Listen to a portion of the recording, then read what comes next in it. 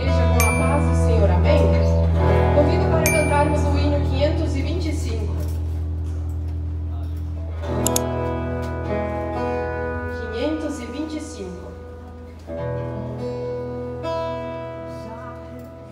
Já refúgio a glória eterna de